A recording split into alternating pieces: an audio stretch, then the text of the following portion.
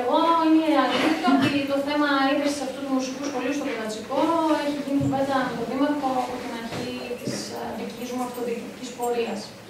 Εδώ επαναλαμβάνω και εγώ, γιατί και αυτή, αυτή είναι η πάγια θέση μου, ότι δεν είμαστε εδώ για να έρθουμε σε κόντρα σε σχέση με την προσφοριά και το τι έγινε και τι δεν έγινε. Είμαστε εδώ στο να καταθέσουμε αντιλήψεις και απόψεις. Η αντίληψη λοιπόν του Περιφερειάρχη και τη Περιφερειακή Αρχή, που και εγώ είμαι μέρος και εκπροσωπώ, είναι, μιλάει για ισοδύναμη ε, ανάπτυξη. Μιλάμε για την ανάπτυξη δηλαδή της περιφερειακής ενότητας Καστοριά. Αυτό λοιπόν έχει να κάνει και με την αποκέντρωση δυνάμεων ως προς την ε, ισχυροποίηση των χωριών. Και αυτό ήταν ένα δείγμα ε, ακριβώς της στήριξης του Περιφερειάρχη στην πρόταση του Δημάρχου στο να έρθει αυτό το μουσικό σχολείο εδώ. Ή τουλάχιστον να εξεταστεί πλήρως η πρόταση του Δημάρχου Από την πρώτη στιγμή θεωρήσαμε ότι κάλυψε σε πολλές πλευρές ο Δήμαρχος και είναι προς τιμή του με τους συνεργάτες του αυτή την πρόταση. Ε, Σας την ανέλησε δεν χρειάζεται να επαναλάβω. Κάναμε το, νομίζω, το καλύτερο δυνατό στο να το στηρίξουμε αυτή την πρόταση. Θεωρώ ότι και στην πορεία σήμερα έχουμε και λεπτομέρειες σχετικά με την αντιμετώπιση που είχε δήμαρχη και με λυπεί εξαιρετικά το γεγονός ότι υπάρχουν κάποιες συμπεριφορές, θα πω μόνο ότι με λυπεί, ότι αυτές οι συμπεριφορές κινήθηκαν με αυτόν τον τρόπο και υπήρχαν και θεωρώ και σκοπιμότητε ως προς ένα βαθμό. Πρόταση λοιπόν δική μου είναι πάντοτε στο ότι, το ότι πρέπει να υπάρχουν ισοδύναμες ενέργειες και ως προς το κέντρο και ως προς τα χωριά. Σε αυτή την περίπτωση λοιπόν με λυπεί το γεγονός ότι δεν είχαμε την ίδια συμπεριφορά και από άλλους παράγοντες.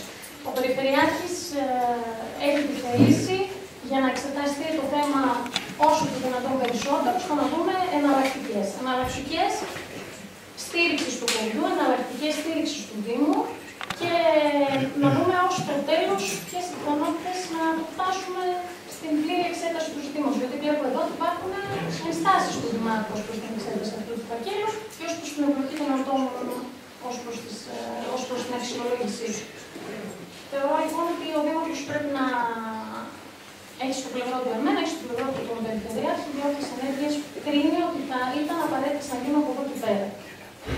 Αυτό θα το κρίνει η αυριανή απόφαση του Ελληνικού Συμβουλίου. Δεν είναι θέμα εντάξει, θα συζητώ κάποια πράγματα, θα διαμορφωθεί μια πρόταση. Το τι θα γίνει από εδώ και πέρα θα είναι καθαρά θέμα απόφασης του Ελληνικού Συμβουλίου. Δεν μπορώ εγώ μόνος μου να αποφασίσω το αν θα κάνω και ό,τι έκανα μέχρι τώρα ήταν βάσει της εξουσιοδότησης της προηγούμενης ομόφωνης απόφασης του Δημοτικού Συμβουλίου για να κάνω ό,τι χρειαζόταν για την ίδρυση αυτού του σχολείου. Έτσι, ως εκεί.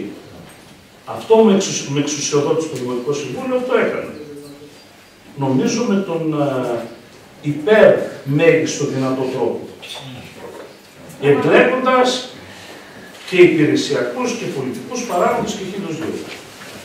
Για να εξετάσουν, για να δούμε μήπως τελικά αν όντως αυτό που λέμε εμείς ότι ήταν το καλύτερο, αν όντως ήταν το καλύτερο. Και ειλικρινά σας καταθέτω ότι κανέναν δεν ακούσαμε κάτι διαφορετικό. Ότι ολονών η άποψη ήταν ότι ήταν κάτι μοναδικό, κάτι πρωτοποριακό, κάτι το οποίο θα έχει πολύ μεγάλη προοπτική. Αφενός μεν για τη μουσική, την ανάπτυξη της μουσικής παιδείας, όχι μόνο στην περιοχή αλλά και στην Ελλάδα, αλλά ταυτόχρονα θα ήταν και ένα καθαρά αναπτυξιακό μέτρο για την ιδιαίτερη εδώ περιοχή, το βουλγαρισμό και όχι μόνο. Προτείνω ότι η πρόταση του Δημάρχου στην έδωση του μουσικού σχολείου είναι απόλυτα δικαιωμένη το στο Δεν μιλάω τώρα υποκειμενικά, επειδή η καταγωγή μου είναι εδώ, απέναντίας. Θεωρώ από την πρώτη στιγμή ότι η πρότασή του ήταν υπέρα ολοκληρωμένη. Ε, εδώ και η ιστορικότητα του χωριού το δικαιολογεί και ο Δήμος του Άργους είναι αλήθεια ότι είναι ανεπτυγμένος σε ό,τι αφορά τη μουσική του και τη μουσικολογία του. Αλλά όλα, όλα ήταν λογικό, ε, έδαιναν μάλλον στην πρόταση αυτή σε ό,τι αφορά το χωριό.